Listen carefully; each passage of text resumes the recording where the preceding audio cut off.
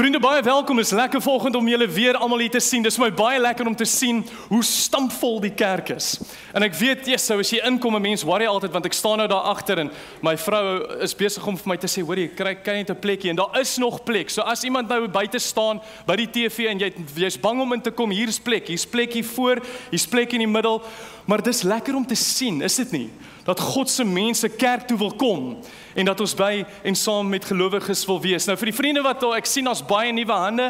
So vir die van julle wat hier is vir die eerste keer baie welkom. Ons is heidaglik besig met 'n nuwe reeks gewone mense, maar 'n buitengewone God. En oor die afgelope paar weke het Johan met ons gesels oor Noag, hy het met ons gesels oor Abraham en Jakob en Josef, sowel as Moses en Joshua. En verlede week het hy met ons gesels oor Gideon, absoluut.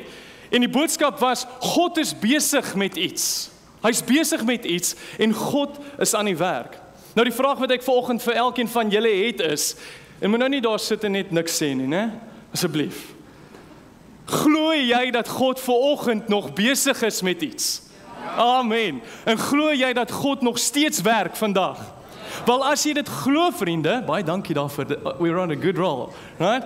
As jy dit glo, is jy natuurlik ver oggend in die regte plek. En my gebed elke keer wat ek die voorreg het om die Here se woord met elkeen van julle te deel, is dat julle ver oggend hier met 'n verwagting in jou hart is om nie net meer oor die Here se woord te leer nie, maar dat jy praktiese en waardevolle lesse ver oggend sal kry om dit in jou eie lewe te kan toepas. Nou verwagting is mos maar 'n moeilike ding. Ek weet nie of jy dit almal daar kan sien nie.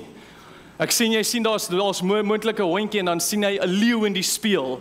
En die verwagting is as jy as jy die woord bring op 'n Sondag dat jou geyser nie op 'n Saterdag besluit om te gaan nie. Ek het als probeer om my hande skoon te kry. Soos ek het geskrob tot die bloed daar is. So moet nou nie vra as jy sien hoekom is die man se hande so vuil nie. Né? Maar verwagting vriende is iets wat ek moes leer voordat ek en Karen kinders gehad het al die jare gelede. As ons een van ons baba katjies in die boom was of bo op die dak by ons ou huis, het ons letterlik net aan 'n blikkie tuna gekap en 30 sekondes later was daai kat weer in die huis. Die probleem daarmee is, dis nou 16 jaar later en al haal ons 'n blikkie boontjies uit die kas uit of sweet corn, moet ons dit saggies oopmaak. Want hulle dink dis tuna. En dan is hulle altyd daar om te mel. Maar vriende, dan raak ons ouers. En dan moet 'n mens nog steeds verwagting bestuur doen. En dan besef jy, "Sjoe, dit raak baie keer 'n moeilike taak." En van kleintyds af was dit 'n gebruik in ons huis om vir ons kinders Bybelstories te lees. En net voordat ek verlede jaar vir 'n maand lank Japan toe is, julle sal moontlik dit onthou, en ek is ek is Japan toe en ek besef toe maar die kinders se boekies waaruit ons lees is nou net net aan die einde. En ek gaan toe na die winkel toe natuurlik en ek koop gou vir hulle 'n boekie want dit maak nie saak of ons Vrydag aand van die jeug af ry en dis 0.30 wat ons by die huis kom en die kinders moet deur die bad spring nie. Daar moet 'n Bybelstorie gelees word want dis die verwagting wat geskep is. En ek koop toe die volgende boek. Hy daar? Ek koop toe die wonder van die skepping. Jy sal moontlik kan sien daar nog 100 dagstukkies. So oulik. Dis van Louis Giglio nog 100 dagstukkies. En binne in daardie dagstukke besef ek so 2 weke gelede maar sjo ons is nou al weer aan die einde van hierdie boekie. En ek hoop nie die kinders gaan dit agterkom nie. Maar ek blaai toe sommer so terug in die boekie en ek begin toe weer. Hulle sê nee nee nee nee pappa so klaar daai storie gelees. Ek sê regtig. Volgende een. Nee pappa moes daai storie ook al gelees. Kan nie wees nie. En ek blaai toe na my storie. En die volgende storie wat ek opkom is die Kano Cristales rivier. Nou vriende, ek weet nie of jy al ooit van hierdie rivier in Kolumbie gehoor het nie. So hou vas. Brace yourselves. Hier is hy. Net 'n rivier. Ek dink maar dis 'n bietjie underwhelming. Right? Dis slegs net 'n rivier. Dit lyk soos Beinskloof se poele as jy net die ander kant uit die Kaap uit gaan. Maar vriende wat hierdie rivier baie baie spesiaal maak, as ek weet nie as jy dit weet nie, is hierdie rivier staan ook bekend as die reënboog rivier. Want sien, tussen Junie en September elke of Desember skies elke jaar blom daar 'n baie spesifieke plantjie binne in daardie rivier. En daardie plantjie se naam is die Macarenia clavigera. Dis nou nie daai Macarena, né? Nee? Nou nie nou nie nou nie daai enetjie nie. En vriende wat wat hierdie plantjie so ongelooflik maak is dat hy blom in verskillende skakerings, in soos wat julle daar sien in pers en in ligpink, blou en geel. En al daardie kleure saam met die geel sand wat onder in die rivier lê, sowel as die blou water, maar ook die groen alge wat deur die loop van die jaar opbou in daardie rivier, kry ons vir daardie tydperk 'n rivier van 96 km lank wat so lyk. Like. Ongelooflik. Jy sien maar dan die moeilike ding van daardie rivier is julle daai plantjie plant plantjie is nogal 'n uitsoekerige plantjie. Jy sien voordat daardie plantjie kan blom, moet die water nie te vlak wees nie, anders droog die plantjie uit. Die water moenie te diep wees nie want anders gaan die plantjie dood. Hy moet net net genoeg sonlig kry want anders is daardie kleur wat jy daar gesien het baie baie dof. En dan is dit nou nie alles is nie. As jy raak dan dan breek hy. So wat jy moontlik hiervan af kan aflei vriende is dat daardie blom en daardie plantjie nie moontlik baie maklik blom nie. En terwyl ek op daai bed saam met my kinders sit, gaan hierdie gedagtes deur my kop weer. Jesus Here, jy's so ongelooflik. Ek moet oor hierdie boodskap preek oor 2 weke. En net sy tyd kom hy en dit herinner my Jesus is is is ons nie moontlik as mense ook so nie. Nou julle is almal perfek, moenie worry nie. Reg? Moenie worry nie. Maar dalk is dit dat ons partykeer in ons lewens net soos hierdie plantjie voel. Jy sien ons wag vir die perfekte tyd voordat ons kan blom. Alles moet net reg wees volgens my wil, soos wat ek dit wil hê. Nee nee nee nee, net soos wat ek dit wil hê. En ons het al voorheen vir mekaar gesê die moeilikheid wat ons as dit wil hê is dat daar partykeer van hierdie onderliggende verskonings in ons lewens gebeur. Ek moet oppas om nie vanaf af te val die ander. Die boodskap soos ag ek het nou nie tyd om Jesus te volg nie, ek sit hom gou-gou vinnig op die back burner. Ek sal weer tyd maak vir hom.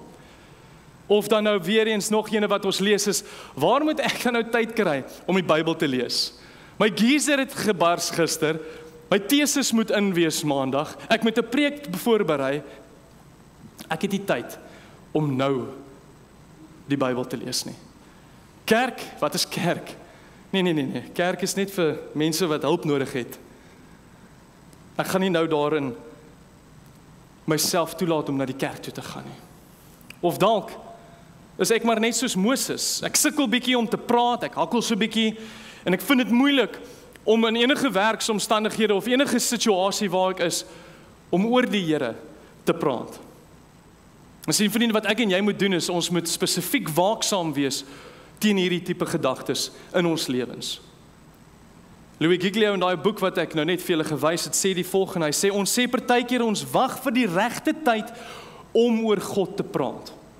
Nou dit kan enige konteks of situasie in jou lewe wees. Ek wag net tot die sportseisoen vir die jong mense wat hier tussen ons sit. En terwyl ek nou van die jong mense praat, ek het van die graad 6 en 7s vergeet ek bieg. Sorry. Is daar graad 6 en 7s wat nog nie uit is nie? Jammer. Is daar? Nee. Julle wil hier bly? Great. Daar is plek in die ander ene vir hulle, maar baie baie dankie. Skus ek het vergeet. Ek weet nie wie hulle moes neem nie. Maar is hulle al uit? Awesome. Baie dankie. Maar sien wat Louis Giglio ook dan sê is hierdie pragtige woorde in daai dagstukkie as jy dit vir jouself wil gaan lees. Hy sê eintlik dink ek ons wil wag. Ons wil nie blom nie. Eintlik dink ek ons wil wag omdat ons bang is ons kry dit nie reg nie. Ek is moontlik bang om my man of vrou kerk toe te nooi want hulle gaan nie dit wil doen nie. Of ek is moontlik bang oor wat mense van my gaan doen, oor wat mense van my gaan sê. Dalk gaan hulle my nie aanvaar soos wat ek is nie en oor waaroor ek wil praat nie. Maar vriende, wat ek wel vanoggend vir jou hier in die gemeente wil sê is dat dis nie my en jou werk. Dis nie ons werk om te te voorsien of om te sê wat aan die einde in die uiteinde gaan gebeur nie of hoe dit moet uitwerk nie. Dis die Here se. Amen. Amen. Maar Natuurlik is daar konteks. God gee vir ons wysheid om in situasies op te tree. Jy sien ons werk vriende is om te dien. Ons werk is om te dien om ander te help en om mense van Jesus te vertel. En dis waar ons vandag so bietjie gaan stil staan en dis graag waar ek wil gesels oor rit. En voordat ons meer daaruit gaan sê, staan saam met my op. Staan saam met my op en dan verklaar ons die volgende woorde saam as jy nie tussen ons gemeente Die woord van God is vir ons as 'n gemeente baie baie belangrik. En dis verklaar ons die volgende saam. Dit sê dit is my Bybel. Ek is wat dit sê ek is. Ek het wat dit sê ek het. En ek kan doen wat dit sê ek kan doen. Met my mond bely ek en met my hart glo ek dat Jesus die Here is. Amen. Amen. Terwyl julle in julle boeke of in julle Bybels blaai na Rit 1, ons gaan lees van vers 1 tot en met 16 wil ek graag vir almal wat aanlyn ingeskakel is baie welkom sê. Dis altyd vir ons as 'n gemeente lekker om op so 'n manier ook by julle in julle huise te kan wees en om die woord saam met julle te kan deel. As jy nie 'n raamwerk natuurlik by jouself het nie, kan jy na die YouVersion app toe gaan onder live events. Ek gebruik dit elke Sondag, dan sal jy die raamwerk en al die versies in konteks daar ook kry. Nou vriende, kom ons lees die volgende saam. Dit sê in die tyd van die leiers was daar op 'n keer 'n hongersnood in die land. En 'n man met sy vrou en sy twee seuns het uit Bethlehem na Juda vertrek op soek na 'n heenkomme in die area van Moab. Die man was Elimelek, sy vrou Naomi en sy twee seuns Maglon en Kilion. Hulle was afkomstig uit Efrata in Bethlehem in Juda. Hulle het in Moab aangekom en hulle daar gevestig. Toe Naomi se man Elimelek sterf, het sy en haar twee seuns alleen agtergebly. Die twee seuns het later getrou met die Moabitiese meisies Orpa en Rut. En Naomi en haar seuns het omtrent 10 jaar in Moab gebly.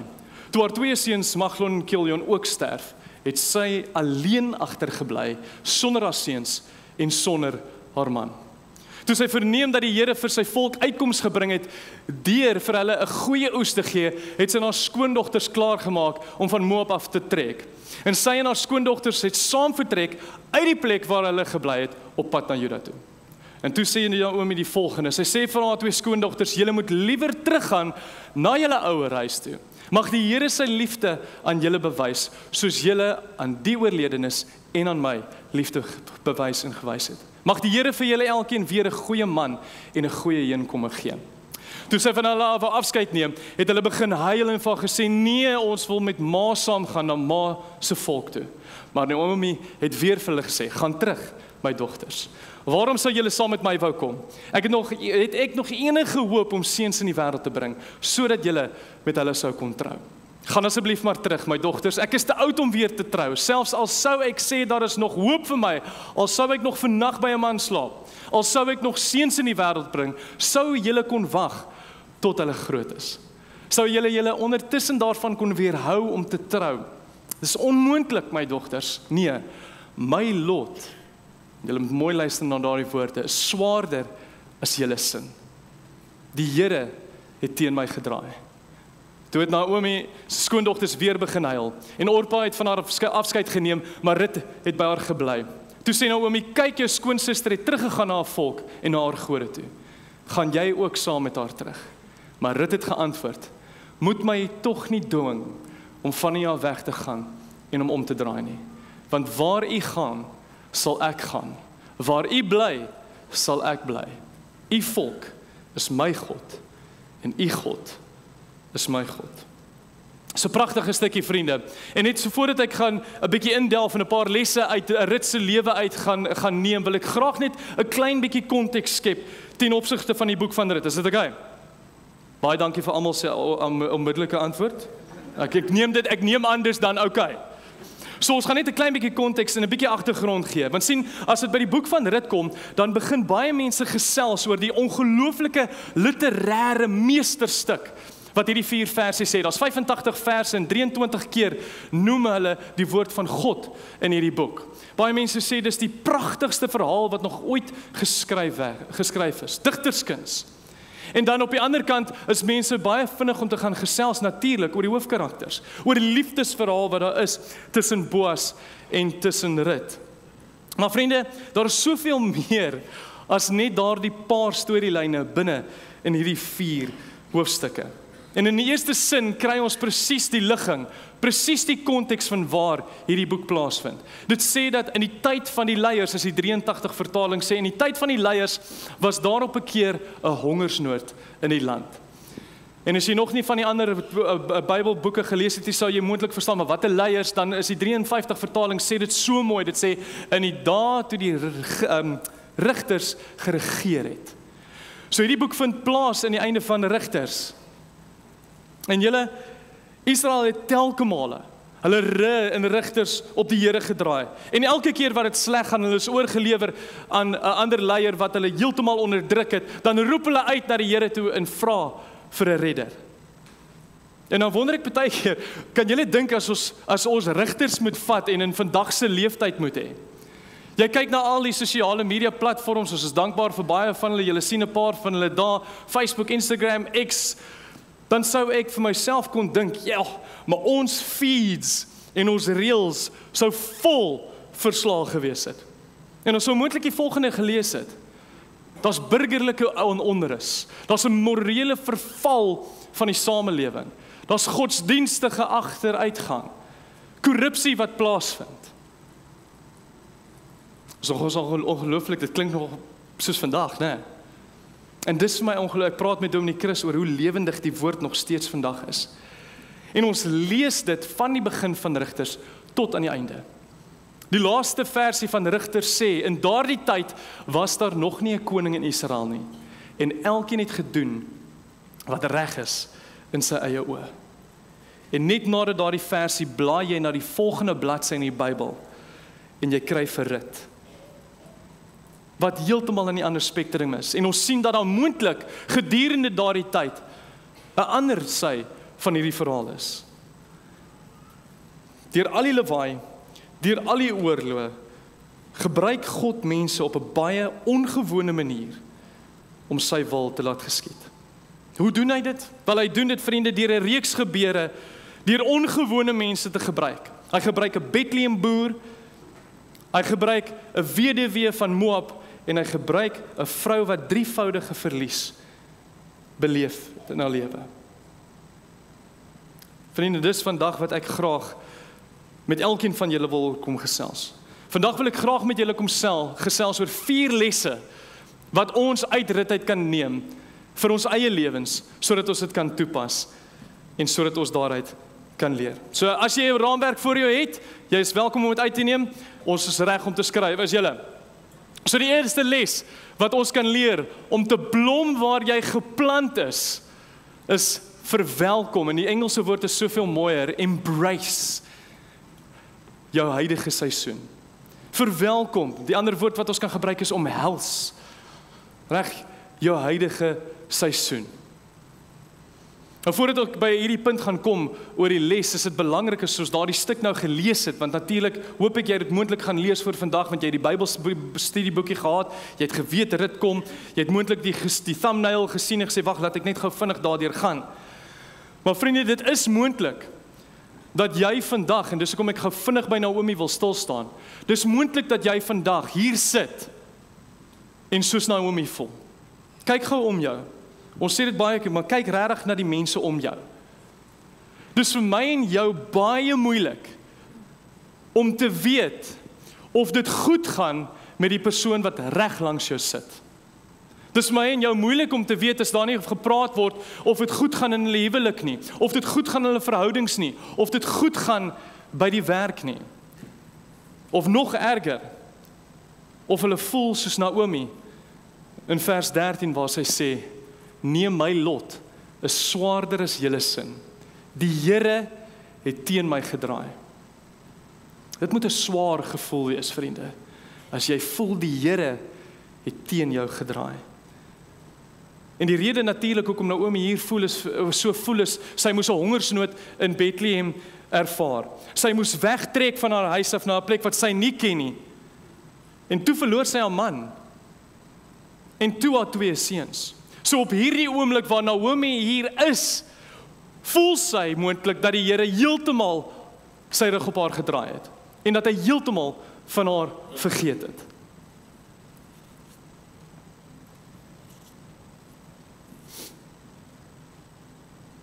Die omstandighede vir Naomi was regtig erg. En dit was vir haar moontlik moeilik om om daardie oomblik te blom. En in die skrif sê al het hulle by Bethlehem teruggekom. En daar was 'n opgewondenheid in die stad toe hulle sê kyk is dit nie Naomi nie? Sê sy vir hulle moet my asseblief nie meer Naomi noem nie. Noem my Mara want die almagtige het die lewe vir my bitter gemaak. Sê ons dit baie keer oor ons God wat ons dien. My lewe was vol toe ek hier weg is, maar die Here het my leeg laat terugkom. Waarom noem julle my nog Naomi? Die Here het dan teen my gedraai.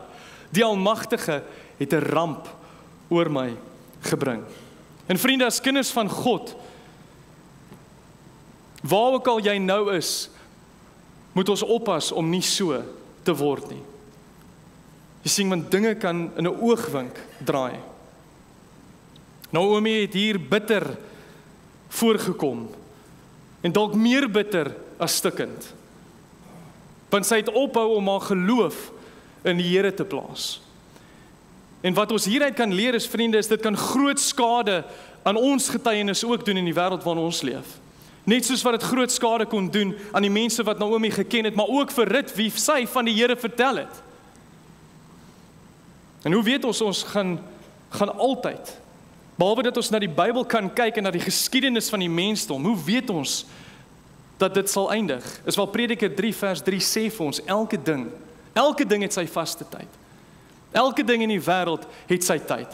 En daaruit leer ons as ons die woord van die Here glo en ons vertrou dit, dan het elke seisoen in ons lewens se doel. Al kan ek en jy dit nie sien nie, al kon Naomi op hierdie oomblik dit dalk nie sien nie, weet ons dat God se voorsiening en plan nooit verander nie. Jy sien in hierdie tyd wil ek nou terugspring na Rut toe. Het Naomi vir Rut probeer ooreed om huis toe te gaan. Julle het dit saam met my gelees. Want alles was op hierdie oomblik teen Rut ook. Sy se weduwee, sy het geen kinders nie. Sy is nou besig om na 'n ander land toe verhuis of te verhuis. En sy ken niemand daar nie. Maar in hierdie situasie, vriende, plaas Rut, sy maak 'n besluit om haar geloof in die Here te plaas. Vers 16 het gesê, "Moet my tog nie dwing om van U af weg te gaan en om te draai nie. Want waar U gaan, sal ek gaan. Waar U bly, sal ek bly. U volk is my volk. U God is my God." Vriende, is dit nie die God wat ek en jy dien nie? Die een wat ons moet sê, weet jy wat Here, dit maak nie saak waarheen ons op pad is nie, waar U gaan sal ek gaan. Here, al weet ek nie wat die situasie môre behels nie, al weet ek nie wat die planne vir my lewe is nie en ek is nog bidtend en wagtend daarop, nog steeds Here, sal ek U volg. En dis 'n opgewondenheid wat ek hoop jy in jou hart het, vriende, want ons weet Hebreërs 11 sê vir ons, hy sê vir ons om te glo is om seker te maak van die dinge wat ons hoop en om oortuig te wees van die dinge wat ons nie kan sien nie. Al weet ek en jy nie wat gaan gebeur nie. Die feit is is ons ons ons, ons, ons geloof in die Here Jesus plaas en ons embrace ons situasie, ons aanvaar dit waar ons is, kan God my en jou gebruik. Ritse bereidheid, vriende, om haar situasie te aanvaar, het die grondslag gelê vir haar voorsiening, maar ook die seën wat sy eendag sal ontvang. En dis wat ons uit die eerste een of die eerste deel van Rut se lewe kan leer. So verwelkom of embrace jou huidige seisoen, so moeilik soos wat dit is. Nou dalk staan jy sit jy daar en jy sê Jesus ken dit is vir jou maklik om te sê. Kyk na my hande. Die Here kom altyd deur vir die wat op hom vertrou in sy tyd. Die tweede ding wat ons en die tweede les wat ons by Naomi kan leer, ag skus, Rut kan leer is kweek getrouheid en lojaliteit kweek getrouheid en lojaliteit. Vriende, hierdie twee woorde goddelike getrouheid en lojaliteit is is is twee woorde wat baie nou verband hou met mekaar, maar maar daar is regtig waar verskillende nuances, daar's verskille binne in daardie twee woorde binne in 'n goddelike en teologiese konteks. En ek wil dit net vinnig vir jou uitpleis. Lojaliteit, jy ken die woord, is 'n sterk gevoel van trou of ondersteuning aan 'n persoon Kan jou man of jou vrou wees, verskillende kontekste, 'n groep of 'n saak. Loyaliteit het verskeie kontekste, vriende. Dis jou familie, werk, instellings waar jy of uh, waar jy waar jy is, werkgewers. Jy het 'n loyaliteit, maar daar's kenmerke van loyaliteit. En daardie kenmerke is moontlik ondersteuning sowel as verdediging. En dis om by iemand te wil staan, om vir daardie persoon te te wil opkom. Ons sien dit in betroubaarheid. Weet jy, jy's verantwoordelik, jy wil graag jou pligte nakom. Maar dan is 'n kenmerk daarvan van loyaliteit is dat jy trou en getrou teenoor iemand is, maar ook dat 'n opoffering is. Dis vir jou so belangrik om jou pligte na te kom dat jy moontlik jouself persoonlik sal opoffer om dit vir daardie persoon te laat verwesenlik. En die vraag is vriende, net vinnig. Julle kan vir my wys. Moenie skaam wees vir die mense om jou nie. Wie van julle beskou julleself as 'n loyale werker? Wie wie wie wie wie beskou jouself as 'n loyale werker? Dankie. Maar hou jou hand op. Want ek het 'n ek het 'n vraagie wat daarop volg. Die vraagie wat natuurlik daarop volg is: Wie van julle wat so voel, voel partykeer asof daardie lojaliteit nie terugbetaal word nie? En daar begin die woorde. Amen. Daar's hy. En vriend, dit wys vir ons ons het daardie presiese gevoelens wat die mense wat in die Bybel en oor die Bybel geskryf is gehad. Jy sien dan kan ons as ons al hierdie hande sien, kan jy moontlik dalk saam met my saamstem dat lojaliteit net 'n eenrigting ding is. Ek is lojaal teenoor my vrou, lojaal teenoor my familie, lojaal. Baie keer net eensaidig. Nie altyd nie, maar meeste van die tyd is dit baie eensaidig. Maar vriende teenoor goddelike getrouheid, dis iets anders.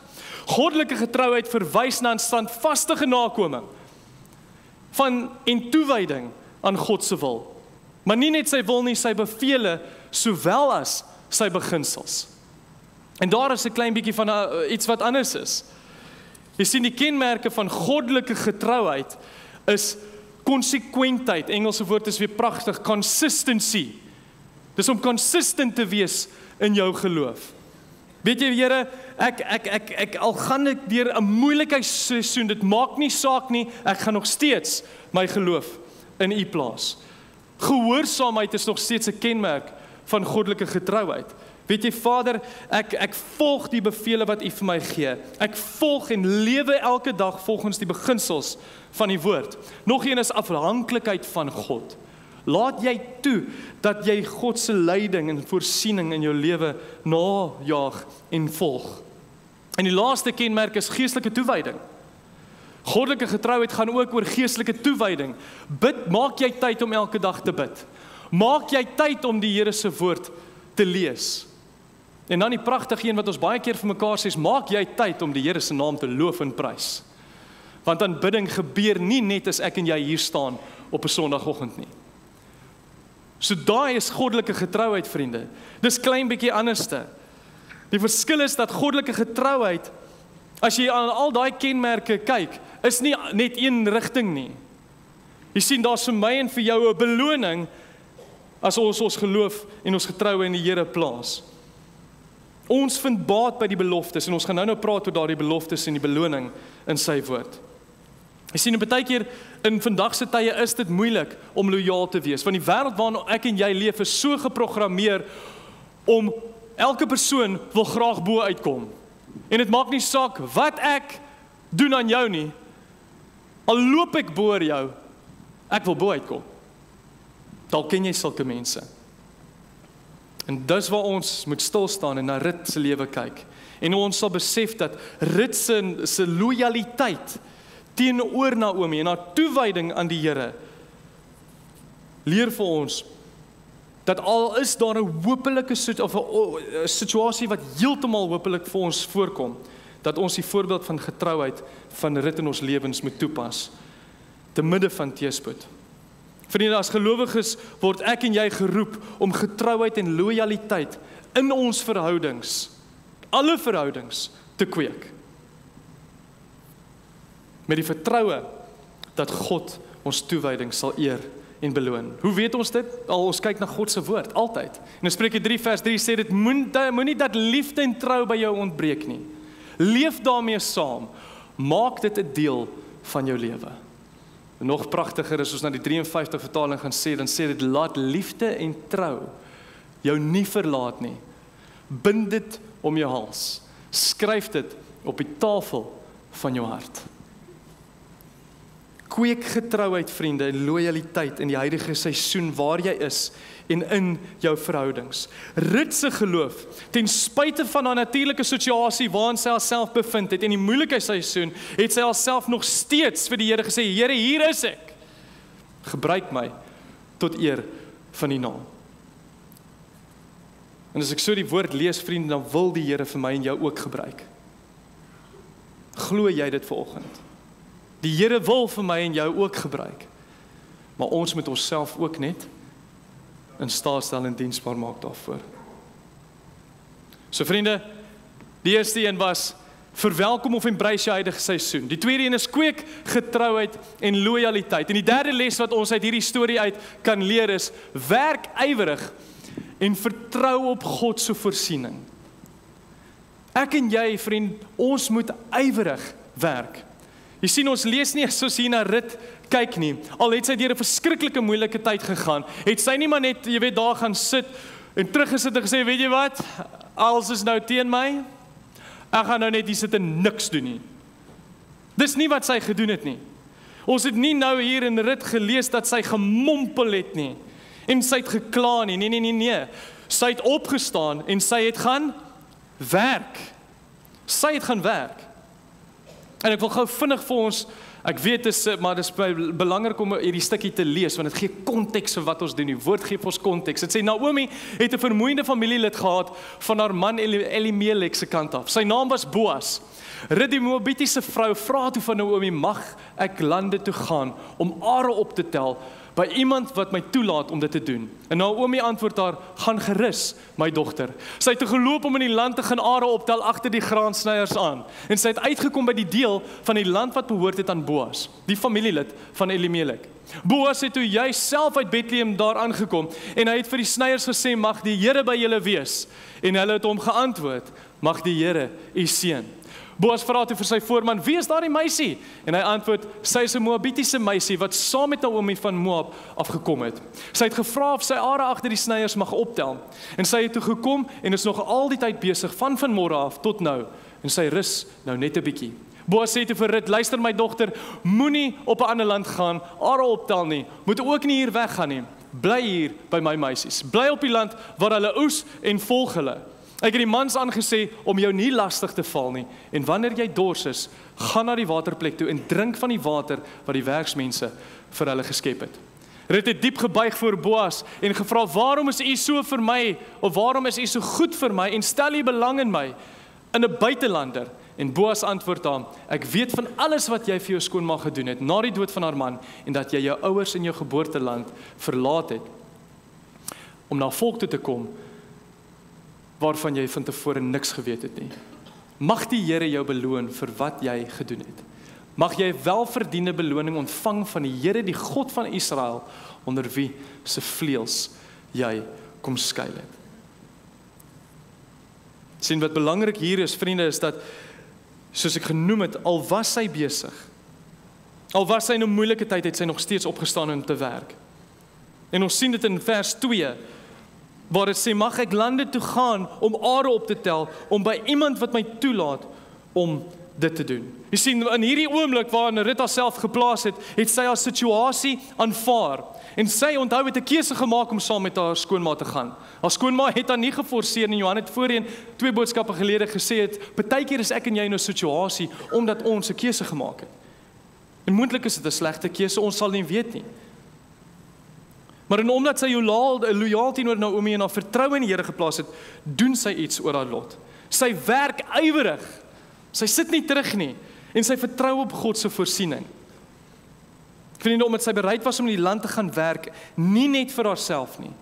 Nie net vir haarself nie, maar vir Naomi ook, het dit gelei na 'n onverwagse voorsiening en seën in die vorm van Boas. Nou Boas weet ons was 'n familielid. Die Engelse woord is 'n bietjie, dis nou nie in my notas, ekskuus, maar die die Engelse woord is kinsman. En 'n kinsman in Hebreëus is 'n party mense sê dit ghoul, ander sê dit goel. Maar wat dit eintlik maar net beteken is was he was a redeemer. And he had the right to redeem. Nou ons lees verder in die storie en ek het gesê ek gaan nie oor daai liefdesverhaal vandag praat nie, maar ons weet dat natuurlik het hy as een enigste lewende uh, familielid nog steeds 'n uh, werkie gehad in hierdie storie. En hy het verantwoordelikhede teenoor dit gehad. Maar deur ellende kom Boas en hy sê vir sy werkers om meer as net die wet te doen, toe hy vir haar gesê het of hulle gesê het laat haar agter julle aangaan. En sien ons leef ons nou nie meer onder Moses se wet nie, maar dit was my ongelooflik as jy so na hierdie stuk kyk. Was dit my ongelooflik hoe die Here na sy mense omgesien het. Dit was pragtig. Jy sien daardie wet wat hier plaasvind, as jy nie geweet het jy was in Levitikus 19 vers 9 tot 10 waar ons lees en as jy die opbrengs van jou land oes, moet jy die kant van jou land nie heeltemal afoes en die are wat val nie versamel nie. Jou wingerd moet jy ook nie skoon afoes nie en die trossies wat van jou wingerd val nie versamel nie. Vir die arme en die vreemdeling moet jy dit laat oorbly. Want ek is Here, jou God. Jy sien die wet het bepaal dat die grondeienaars nie als moet optel nie. Maar partykeer vriende, en kom ons wees nou maar eerlik met mekaar. Partykeer gaan jy nie wil hard werk nie. Ek verstaan dit. En vir alles mense jou nie waardeer nie. Maar werk ek en jy vir mense? Nou ons probeer dit weer. Werk ons vir mense? Nee, ons werk nie vir mense nie. Ons lees dit in Kolossense 3 vers 23 tot 24 wat sê en wat julle ook al doen, doen dit van harte soos vir die Here en nie vir mense nie, omdat julle weet dat julle van die Here die erfenis as vergelding sal ontvang, want julle dien die Here Christus. Ons sien vriende, deur om hard te werk en ywerig te werk, sal ek en jy ook voorsiening ontvang. En daarom is harde werk in moeilike tye ook 'n getuienis vir die mense om jou sodat hulle ook kan sien hoe mense wat in Jesus se voetspore loop hoe ons moet loop as dit moeilik gaan om ons. G Campbell Morgan sê 'n pragtige ding. Hy sê die volgende, hy sê we need to remember that we will not see all the fruit of our faith this side of heaven. As in you may be God's foothold for things of which you cannot dream. En dis hoekom ek en jy vriende ywerig moet werk en ons vertroue en geloof in die Here moet plaas sodat ons verander Jesus kan wys. En die laaste een is eerste een was verwelkom in die huidige seisoen, kweek getrouheid en lojaliteit, werk ywerig en vertrou op God se voorsiening en die hele of die Here beloon gehoorsaamheid. En ek wou baie graag vandag baie prakties maak. So hier's nog 'n paar goed wat ek vir jou wil gee wat jy nie op jou raamwerk het nie en alles al blaai jy om moet jy skryf. Ons sien die woord beloning in vandag se tyd. Ek weet is 'n moeilike een. It's a touchy subject hierdie beloning. Hoe lyk God se beloning? in ons lewens. Hoe lyk die Here se seën? Want op die een kant van die spektrum het ons mense wat sê Jesus het na die aarde toe gekom sodat ek en jy 'n baie goeie lewe kan hê. Ons gaan finansiëel blom. Dit gaan goed gaan met ons, altyd. En dan aan die ander kant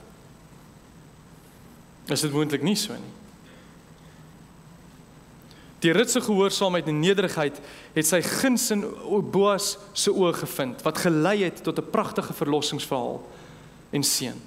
En ek wil graag vir julle die volgende wys, hoe lyk God se seën? Hoe lyk dit in my en jou lewe? Wil ek of bid ek vir 'n Ferrari? Sê dit baie vir mekaar. En ek wil graag vir jou die volgende wys. Hoe lyk God se beloning as ons na die storie van Rut kyk? Ekskuus. Ons kyk na die storie van Rut. Ons gaan lees daaroor wat kan ek en jy sien wat ons in ons eie lewe kan toepas, maar ook uit die woord van God uit kan sien. En ons weet God se beloning is ek weet daar's baie meer as wat ek nou gaan sê. Maar sy sy seën en sy beloning is voorsiening en lewensonderhoud.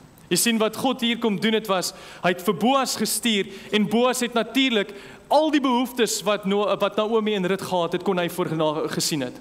Kos, Al die basiese behoeftes het hy daar gekry. Maar vir ek en jy vriende het presies dieselfde, want die woord sê in Filippense 4 vers 19 en my God sal in elke behoefte van julle ryklik voorsien volgens sy wonderbaarlike rykdom in Jesus Christus. Volgens syne.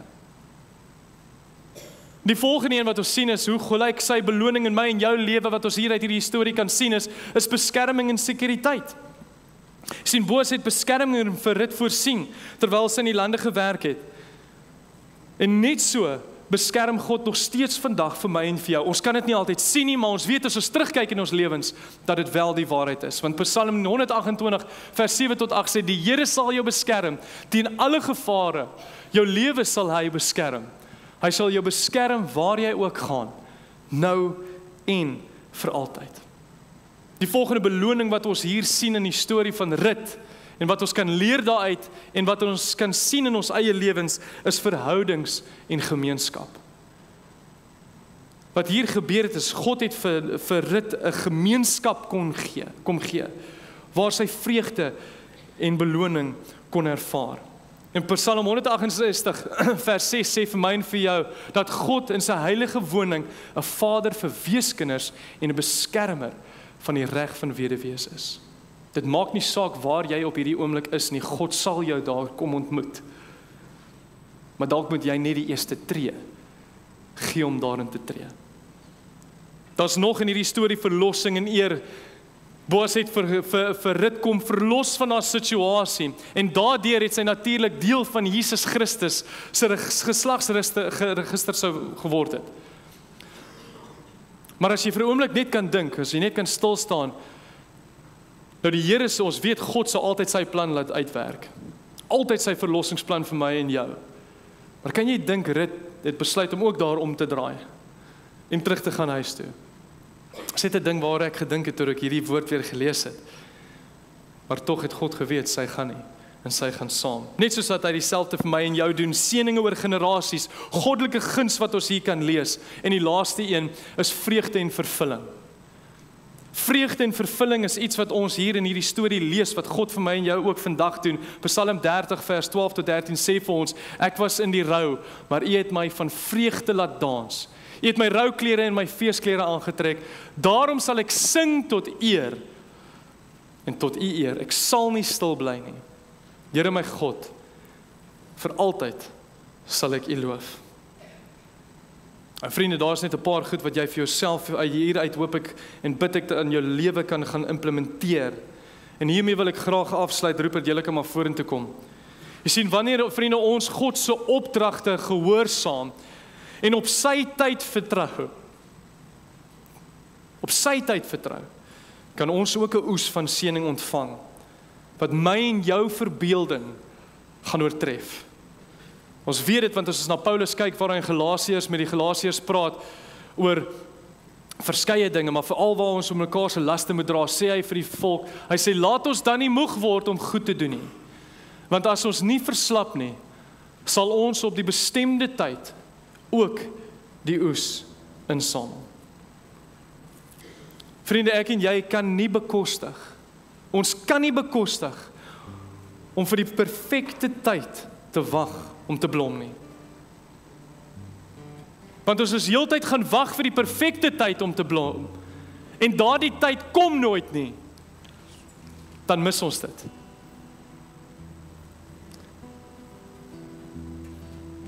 Al gaan dit soms swaar. Net soos met dit. Weet dat God dalk nou vandag die 26ste Mei 2024 dalk besig is in jou lewe om die grond voor te berei sodat jy ook sy wonderbaarlike seën en seën kan geniet. En vriende, dis my boodskap vir vandag. My boodskap vandag is moenie wag nie. Blom oral en altyd vir God. En as jy vergeet hoe om te blom, dan blom jy in jou huidige seisoen deur om dit te aanvaar. Blom waar jy geplant is. Wees getrou en lojaal aan God. Werk ywerig en jy sal God se voorsiening geniet. En dan vriende, wees gehoorsaam aan dit wat hy vir my en jou in sy woord sê. en jy sal ook daardie beloning ervaar. Amen. Kom ons bid saam. Here, dankie dat ons na u woord kan kyk en na Rut en Naomi en Boas kan kyk en Here dat u vir ons die verlossingsplan tot in hierdie vier klein hoofstukke wys, Here. Here dat u vir vir Rut kon gebruik om vir ons ook vandag lesse te kan leer om te implementeer in ons eie lewens. Here, en ek bid dat U vanoggend deur die Heilige Gees vir elke persoon wat hier sit of aanlyn ingeskakel is, Here, dat U daardie woorde en daardie lesse in ons harte sal vasmaak, Here. En dat ons sal weet dat dit maak nie saak hoe moeilik dit gaan nie, dit maak nie saak wat die situasie in ons lewens is nie.